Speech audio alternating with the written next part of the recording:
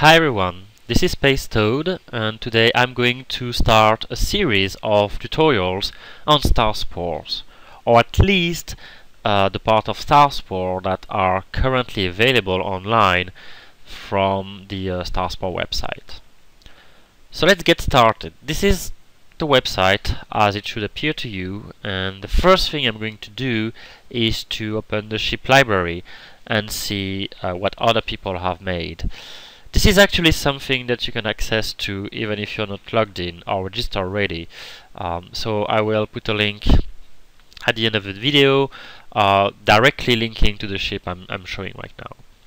So to access to this library, I'm clicking on library here and then I can see that there are 10 ships uh, that have been designed so far.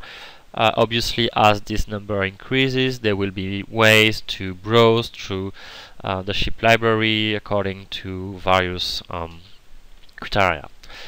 But for now let's look at this um, this big green ship in the middle here. If I click on it I'm opening the ship viewer and uh, loading the ship in the environment. Let me adjust the view here. Okay, so the way it works so far is that the ship viewer has a tendency of putting you inside the ship. But you have the, the mouse wheel that can help you to go further away or closer to the ship center.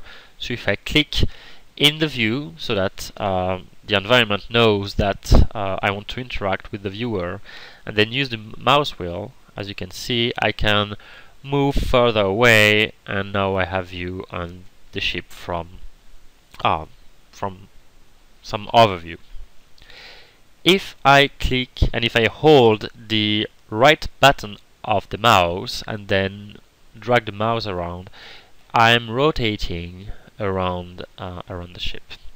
As a matter of fact, I'm rotating around the first element of the ship, which happens to be this uh, big piece of hull here. If I left click on other elements, here uh, there are two others, the, the left and right engines, I will center the view around that element. This is the first mode to navigate around the ship uh, at any point you can go back to this mode by hitting the C button here. The other buttons are other ways to navigate. And the first one is X. X will provide means to have some kind of free navigation in the ship. So now that I've clicked on X, if I right click and hold the, the button of the mouse and then drag around, as you can see what I'm changing here is uh, my point of view or the direction of my point of view. I'm not rotating around the ship anymore. Using the mouse wheel or the arrows I'm going to be able to move uh, relative to my current position uh, which gives some way of um, navigating freely within the ship. Now the five less uh, the, the, the five last buttons are shortcuts to place the free navigation onto certain uh, positions.